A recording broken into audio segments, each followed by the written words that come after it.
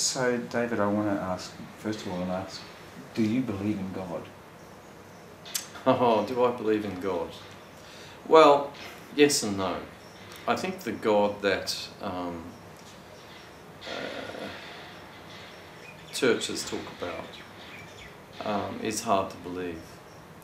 But I think there is something deeper than the God of the churches. Um, there's a there's a God in creation. There's a kind of a deep intelligence and a deep spiritual of undercurrent in nature and the world. And that's the kind of God I, I would believe in. But the idea of a uh, old man in the sky, uh, you know, interested in our toilet behaviour and our uh, moral lives, I don't think, I think that's a construction of human imagination. And I think that God had to die so that the deeper God could be revealed.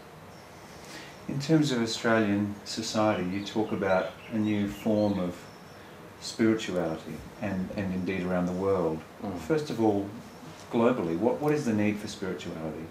Well, I think spirituality is a human instinct. I think um, we are the only culture that has tried to live without it. Um, secularism is surprisingly recent.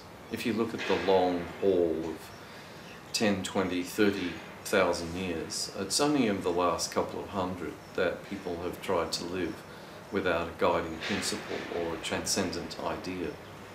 And um, I think our uh, adherence to secularism is looking rather frayed at the moment. I think uh, spirituality is a, a, human instinct, and um, it's only over the last couple of hundred years that people have tried to live without a sense of the spirit or of soul.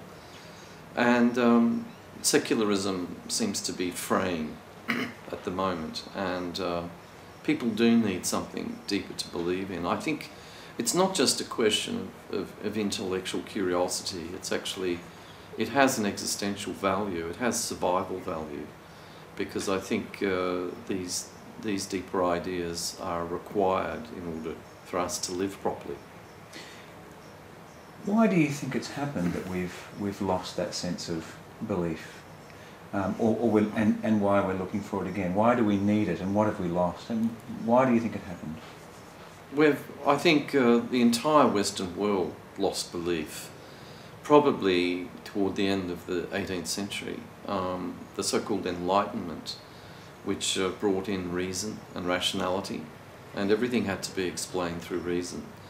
And that had a good run in the sciences, in education, in knowledge, and in all sorts of ways. But I suspect that uh, outside of those areas, uh, people have often had their private thoughts and feelings, but in many cases that these were repressed.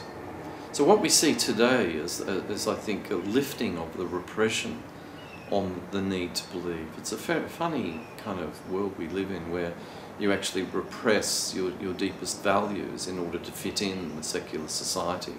And I think that's where we're coming out of that phase at the moment and more and more people really, there's a lot of lost people at the moment of course because we don't know where to turn. Just as when the, the Berlin Wall fell down and the Eastern Bloc collapsed in, in Russia, everybody thought, well, we'd better run back to the churches. And for a couple of months, the churches were teeming with people, you know, after the collapse of communism. But now they've gone out of the, the churches again because they've realised that that's not really what they wanted. So I think we're just in search of something new. And I don't, I don't think, I think the search will continue for quite some time. But at the moment, everybody's trying to find out their own particular um, relationship to the big questions. I don't think there's any big movement. Even fundamentalism is thank God, you know, for the minority of people, uh, in certainly in Australia and countries like Australia. The problem with fundamentalism is it's just far too certain. I think we have to learn to live uh, with the presence of mystery.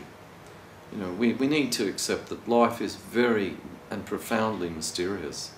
And any kind of uh, system which, uh, which makes the big questions uh, cut and dried and simplistic has to be rejected by thinking people. But in rejecting fundamentalism, we can't throw the baby out with the bathwater. We, we, we do need belief. And I think more and more Australians are in search of something to believe in.